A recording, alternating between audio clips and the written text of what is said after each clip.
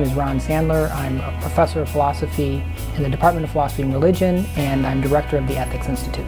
My area of research is in uh, applied ethics or practical ethics.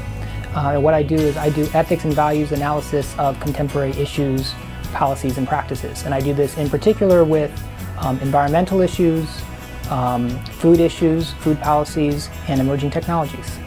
Through my research, I'm uh, trying to answer questions about what we ought to do with emerging technologies, with our environmental policies and practices, and with um, food issues.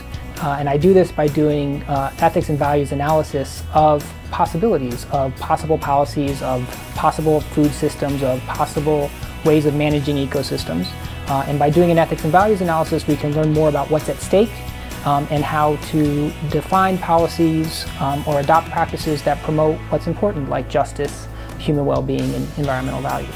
The Ethics Institute, um, which is based in the College of Social Sciences and Humanities, uh, has the mission of promoting ethics, education, and research on campus. So what we do is uh, we organize quite a lot of events, conferences, workshops, and speakers to bring people to campus to raise discussion about uh, contemporary issues, um, ethical issues.